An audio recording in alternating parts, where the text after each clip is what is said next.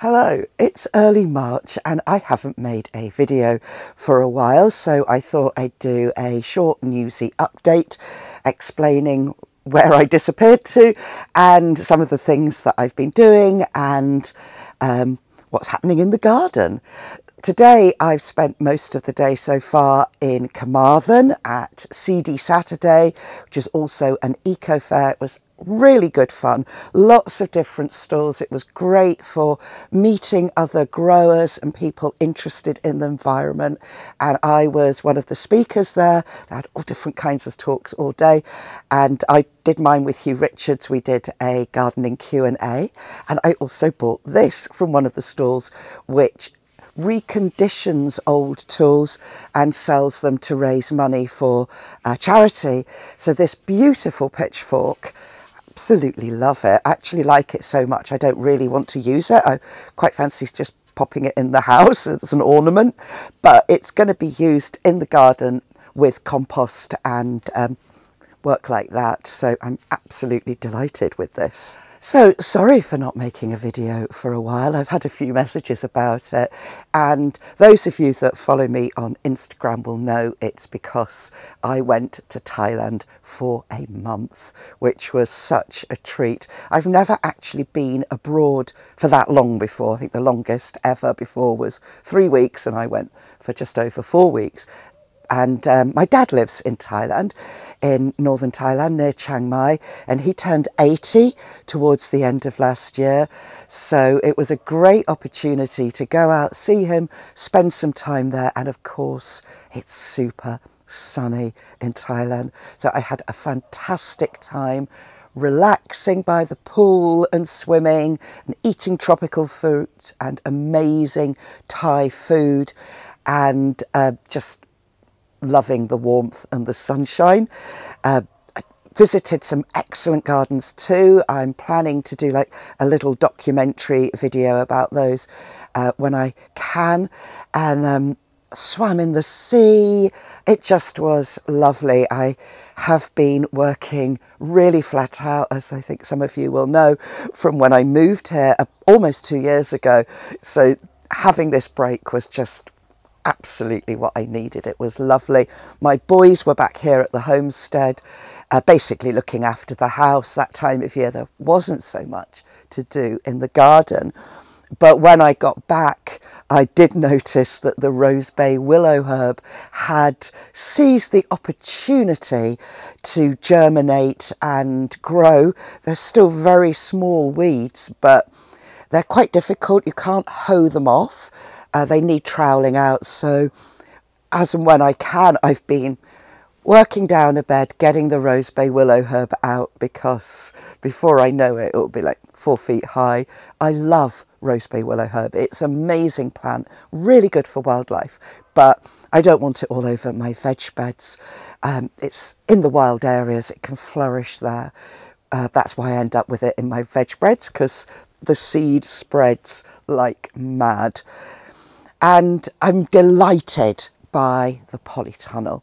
Now, I lost my lettuce during the really, really cold weather we had in December and also quite a lot of the outdoor brassicas.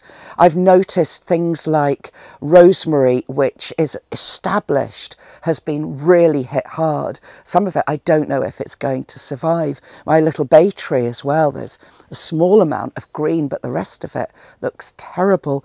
And this happened across the UK, really. Lots of people realise that they've lost plants that usually completely survive the winter time and it was that extended period of deeply cold weather that did them in but I do have some brassicas that survived and in here I've got plenty of different kinds of greens for cooking with and also using as salad. Most of them are multi-purpose and there's garlic thriving in here and the garlic outside and most of the broad beans outside are looking good too.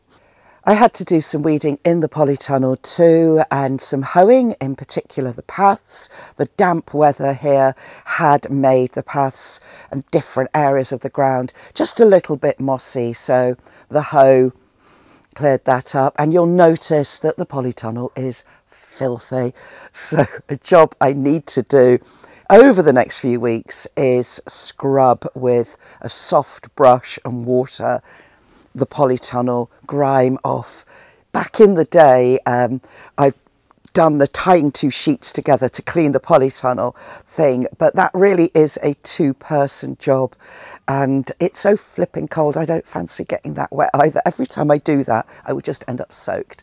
So I'm going to try water and a soft brush on this polytunnel and I'll be cleaning inside as well to get it all shiny and bright before um, the summer crops go in during April and May.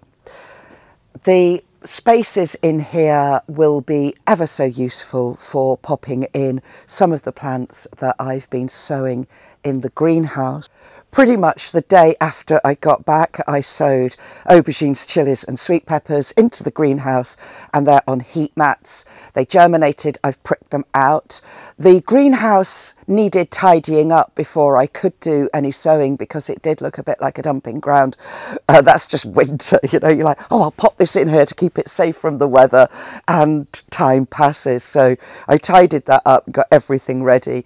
And I've also been sowing um, lettuce, different brassicas, um, peas and module radishes in the greenhouse too.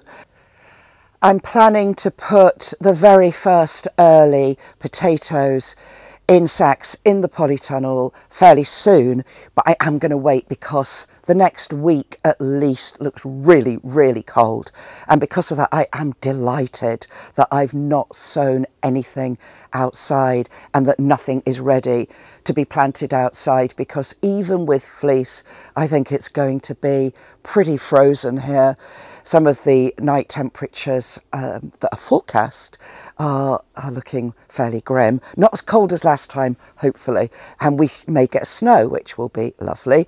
Um, I did sow some extra broad beans into modules to fill in the gaps and they're still in the greenhouse safe from the weather. I'll put them out when they're about this big. So as well as getting the first lot of sowing done and some weeding and hoeing and general tidying up, I've been planning what needs to go where and what I need to prioritise over the month of March. All of the rest of my sowing I'm putting on hold until after this cold spell. It's, um, you know, there are things that could be sown now. At this time of year, daylight is increasing a little bit every single day, which really helps things to grow and they'll all be fine waiting until the middle of the month. Also, I had a very exciting delivery of um, some fruit trees and some fruit bushes and a rhubarb, that I, a variety that I don't have here yet. These, I've heeled it in, in the polytunnel, ready for this cold spell to go by when I'll plant them out. They, hopefully the temperatures will be cool enough that it won't trigger any growth in them and this will just keep them safe until they're going out to their permanent homes. I have an exciting project though with some of the fruit trees for the polytunnel and I'll tell you all about that when they go in. It's really exciting thinking about the growing season ahead and what's going to go where. Um, an advantage of the weather still being cold is I've got that little bit of like gentle pace because things are not racing ahead. So that's, um, that's one bonus. Since I got back from Thailand, when I got back, I had terrible jet lag. I think it was actually the shock. Not just the fact I didn't really sleep much for two days with all the travelling, but going from those amazing temperatures to freezing to death and my house was like an ice cube in comparison with being in the tropics. Um, so I felt like a complete zombie for a, about a week and then went to London for the Garden Press event, which is a highlight of the year for many of us garden writers and people who work in garden media because um, it's an opportunity to see people. Often you don't meet up with at all, uh, just communicating via social media. And it's a good opportunity to see what different kinds of peat-free composts are available, to chat with brands about new innovations, different kinds of things to help in the garden. So I've got a few of those to try out um, over the spring and summer here. Also, I'm getting things ready for the first of my garden courses, which is towards the end of the month. I'm running several garden courses from here. Uh, quite small groups. The first two, March and April, have sold out, but there are some other dates online. And it's all about growing your own year round, affordably, and lots of tips for growing and setting up a homestead, whatever size place that you have.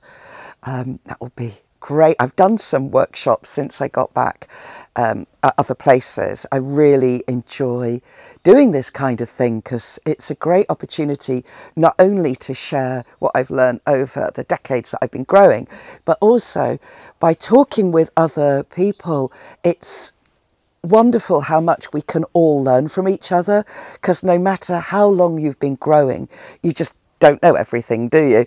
So um, it's a great opportunity to discover more things and find out ideas from others and experiences they've had with different things. It's always a great pleasure, I think, chatting with people who are keen on growing their own and being outside and being in nature. One of the big highlights since I got back, which actually I noticed as I was driving through Wales once I got off the motorway and was back in Wales properly. Lambs. We've got lambs all over the place. It's great. So when I got home, I could hear the mother ewes go ma, and then you've got these tiny little meh, and it starts off with just a few lambs, and it's all very cute, and then they start to appear everywhere. And then the lambs start forming lamb gangs and boinging by. It's an endless source of amusement. At the moment, there's no lambs in the field around me. I'm very much looking forward to those being brought here. They're in the fields opposite, though, um, so I can watch them from my desk. It's a bit distracting. I'm trying to write and there's lambs shooting by.